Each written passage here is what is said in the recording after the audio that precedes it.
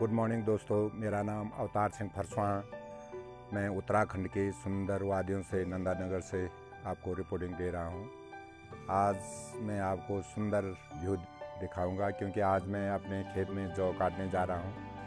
तो अभी मैंने अपने साथ में एक रस्सी और एक दरांती ले लिया है, और इनको ले करके मैं पिताजी के साथ में अपने खेत में जाऊँगा, और वहाँ से जौ की काट करके और बाहरी लगा करके लेके आऊँगा। खेत में जाने से पहले मैं अपने बच्चे के लिए थोड़ा घास खिलाऊँगा। ले, थोड़ा घास खा ले। ले, तेरे लिए थोड़ा घास डालता हूँ मैं। और ये बच्ची घास अच्छा खाती है। आप देख सकते हैं, हमारी बच्चियाँ घास खा रही है। ले ले ले, खा ले खा ले, खा। अभी मैंने अंदर से घास ले करके और अपने गाय के लिए भी दे दिया है।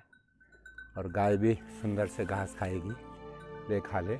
और मैं अब अपने खेत में जाऊँगा जौ काटने के लिए। आज का मुख्य काम है खेत से जौ को काट करके घर में लेके आना। अभी मैं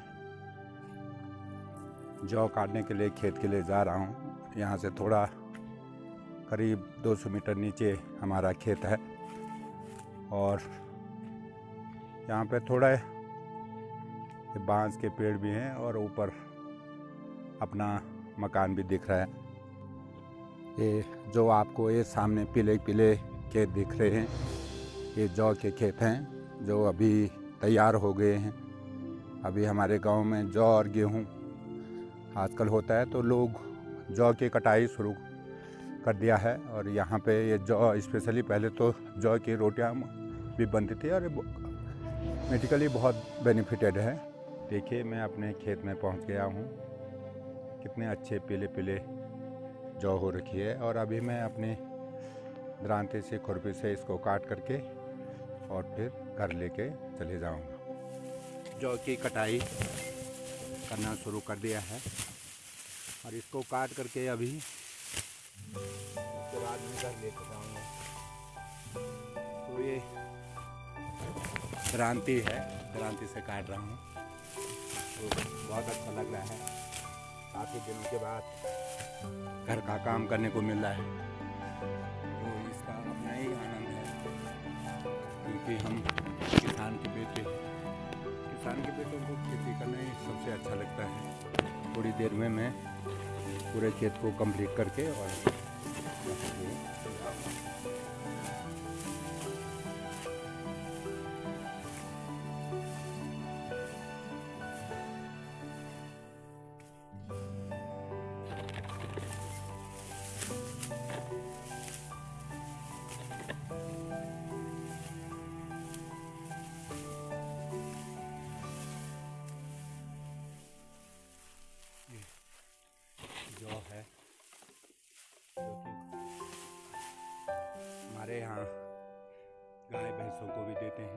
इंसान भी खाते हैं क्योंकि स्वास्थ्य के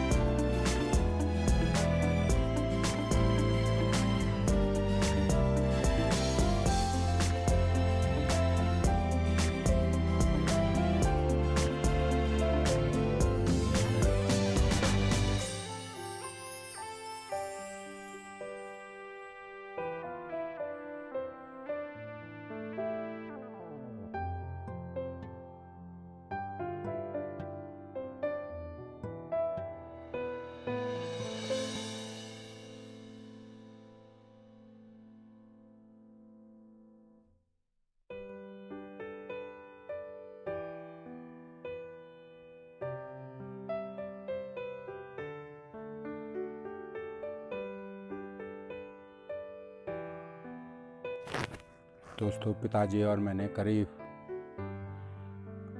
करीब पौना खेत काट दिया थोड़ा किनारे पे बचा हुआ है। अभी मैं जितने भी ये जो कटे हैं, उनकी फूली बना करके और फिर भारे पे घर लेके जाऊँगा।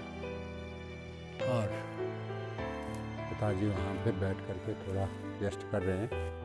दोस्तों, ये टोपी मैंने और मफलर इसलिए पहना है कि जिससे कि धूप न लगे, आँखों में चश्मा भी पहना है, ये अपने सेफ्टी के लिए है। क्योंकि दिन के टाइम में धूप ज़्यादा होती है, जिसके कारण काम करने में तकलीफ़ होती है। ऑलमोस्ट आज का कटाई का काम हमने कंप्लीट कर लिया है। अब मैं इनकी पुली बनाऊँगा और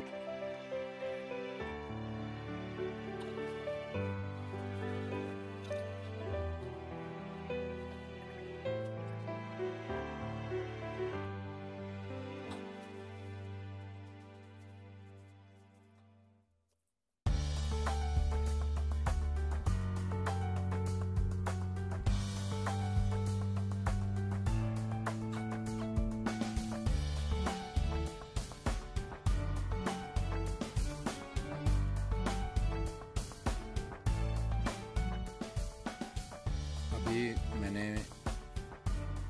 जौ की पुली बनाने का काम भी लगभग पूरा कर लिया है।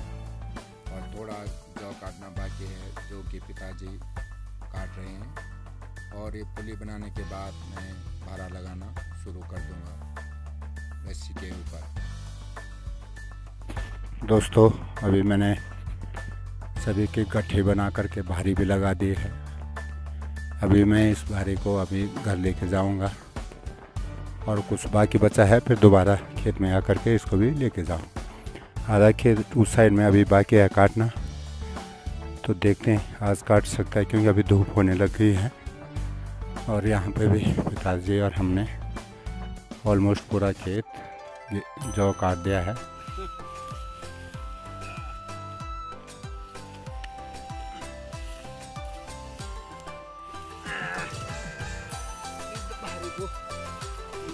अभी घर लेकर जाऊँगा।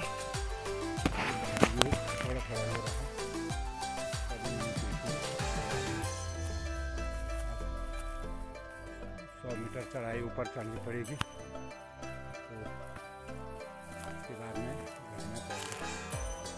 घर में जौ के बाहर एक घर में रख दिया है। घर में चौक, घर के चौक में रख दिया है। और अब इसको रस्सी खोल करके दोबारा फिर लेने के लिए जाऊँगा। दो भारे ले करके आ जाऊँ। और आप सोच रहे होंगे कि मैंने ये ड्रेस क्यों पहनी है? ये येलो ड्रेस ये एक्चुअली मेरा इंडियन नेवी का रेन कोट है, जो यहाँ पे लेके लेने के लिए काम आ रहा है। क्योंकि ये जौ का केस अभी लग रहा है, कपड़ों में लगता है तो यहाँ पे इसको पहन के नहीं लगता है।